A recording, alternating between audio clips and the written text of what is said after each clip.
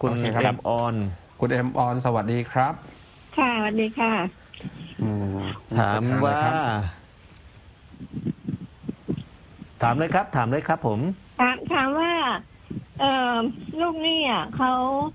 มาศาลสั่งให้ผ่อนชำระเขาไม่ผ่อน แล้วก็ก็เอาทรัพย์สินมาวางเนี่ย มันราคานิดหน่อยไม่ไม่พอกับหนี้อะค่ะ แล้วคิดว่าจะจะยึดทรัพย์ แล้วก็ยึดเงินเดือนของเขาเนี่ยจะทำยังไง จะบังคับคดีเอายึดเงินเดี๋ยวเดือนนะกับเดี๋ยวนะยังยังยังครับ ยังงงอยู่นิดหนึ่งไอ้นี่ค่ะฟ้องกันแล้วหรือยังฟ้องกันแล้วหรือยัง ฟ้องแล้วค่ะ ฟ้องขึ้นศาลเรียบร้อยค่ะศาลสั่งครับ ให้ผ่อนชำระเขาก็ไม่ได้ผ่อนเป็นชำเป็นระหนี้อะไรเป็นหนี้อะไรครับ เป็นหนี้กู้ยืมกันเนี่ยค่ะกู้ยืมบุคคลเงินกันนะครับ แล้วก็ยังไม่ผ่อนศาลตัดสินให้ชำระแล้ว แล้วเขายังไม่ชำระเหรอครับ หรือว่าชำระบางส่วนแล้วไม่ชำระต่อ ไม่ชำระชำระนิดหน่อยแล้วก็ไม่ชำระเลย แล้วไม่ชำระต่อคำถามค่ะ คือจะทำอย่างไรให้เขาชำระใช่ป่ะครับเขาไม่ชำระอยู่แล้ว เพราะว่า นาอะนาคุณเอมอนคุณเอมอนคุณคุณอย่าเพิ่งค่ะพูดไปแต่คุณอย่าเพิ่งตัดบทสิผมถามว่าคำพิพากษาแล้วเขาก็จะชำระหนี้ตามคำพิพากษาแล้วต่อมาก็ไม่ชำระถูกไหมครับ ขาดการชำระถูกไหมครับ ค่ะใช่ค่ะเออครับ โอเค ฟังดีกว่าครับอาจารย์เชิญครับ ถ้าว่าเขาไม่ชำระแค่บางส่วนแล้วหลังจากนั้นไม่ชำระต้องทำไงต่อครับ ครับผมพี่เอมอนถามนะครับถูกต้องแล้วนะครับ เมื่อเขามีการทำสัญญาการและยินยอมจะผ่อนชำระนะครับในเมื่อผิดสัญญานะครับ เมื่อผิดค่ะ สัญญา อันดับแรกที่พี่บอกว่าเขาเอาทรัพย์สินมาวางนะครับ ค่ะ อ่าตัวพี่เอมอนต้องตีทรัพย์สินนั้นเป็นชำระจำนวนเงินให้เขาไปก่อน จะได้รู้ว่านี่มันเหลือเท่าไหร่นะครับอ๋อเมื่อนี่เหลืออีกแสนสองแสนฟังฟังนะครับฟังก่อนครับ อย่าเพิ่งแทรกครับ เชิญครับนะครับค่ะ ถ้าพี่หักไปแล้วก็ไม่เป็นไร ถ้าพี่ไม่หักก็หักเงินไว้ก่อนว่าหนี้นี้ทรัพย์สินนี้เขามาวางตีราคากันแล้ว เป็นเงินเท่านี้เหลือหนี้ตามคำพิพากษาอีกจำนวนเท่าไหร่ที่เขายังไม่จ่ายนะครับ เพราะฉะนั้นค่ะ ไปดูตัวเองว่าตัวเองได้ออกหมายบังคับคดีแล้วหรือยัง ถ้าแค่ยังออกค่ะคำบังคับ อ่าถ้ายังไม่ออกหมายบังคับคดีนะครับ บัตรนี้นะครับเขาผิดสัญญานะครับ ตามคำบังคับของศาลไม่ชำระตามงวด จึงค่ะให้ไปติดต่อนะครับ ยื่นคำร้องต่อศาลขอออกหมายบังคับคดี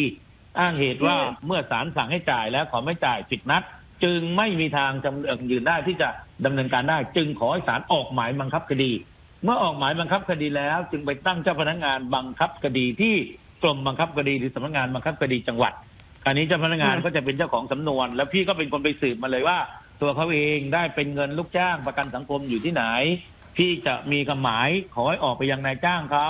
เพื่อให้หักเงินมาให้พี่เท่าไหร่อย่างไร เจ้าพนักงานบังคับคดีศาลจะเป็นคนกำหนดว่าเงินนั้นจะนายจ้างต้องหักมาสิบเปอร์เซ็นเจ็ดเปอร์เซ็นอย่างไรที่พี่ถามเมื่อกี้นะครับ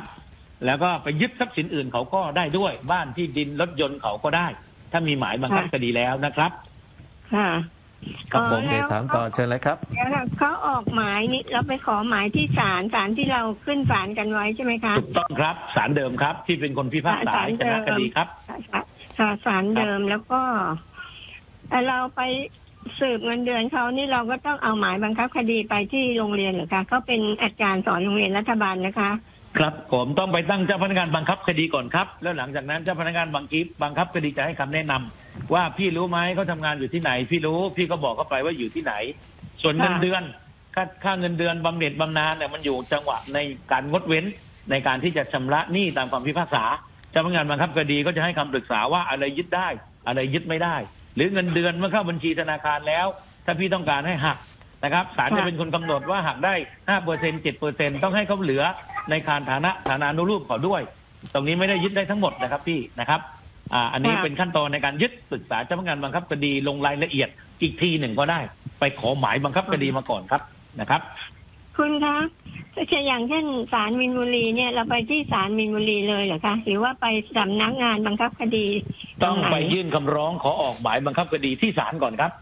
ศาลก็จะเขียนหมายถึงเจ้าพนักงานบังคับคดีมีนบุรี ขอให้ดำเนินการตามนี้อะไรเงี้ยเขาจะส่งหมายศาลก็จะพิมพ์หมายให้เรียบร้อย แต่พี่ต้องยื่นคำร้องครับ ยื่นคำร้องนะ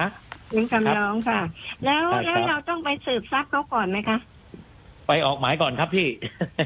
อ๋อออกหนะมายก่อน ออกหมายก่อนครับอืม ไม่งั้นพี่ไปสืบไม่ได้ครับ ไม่มีหมายเจ้าพนักงานใช่ครับอื่นเขาก็ไม่ให้ออคมารับบังคับคดีนะครับก่อนนะครับ ป้าไปทีละขั้นครับป้าครับไปทีละขั้นนะครับโอเคนะป้านะครับ สวัสดีครับ